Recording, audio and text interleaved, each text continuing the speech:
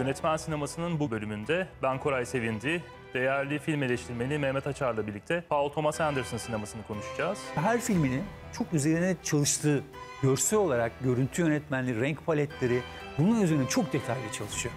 Her anlamda çok detaylı çalışan bir yönetmen. Tıpkı Stanley Kubrick gibi. Ve filmin dünyasını da resimlerini de çok iyi oluşturuyor. Karakteri derinleştirmek, e, onun iç dünyasına inmek çok kolay değil. Paul Thomas Anderson bunu başarıyor ve birden fazla karakter de bunu başarıyor. Bu da tabii film sürelerine yansıyor. Daniel Day-Lewis'in oynadığı Daniel Plainview karakteri Amerikan ruhunun özünü anlatır. Kapitalizmin, Amerikan rekabetçiliği ruhunun özünü anlatır. Bunun ne kadar sert, vahşi bir şey olduğunu çok net bir şekilde gösterir.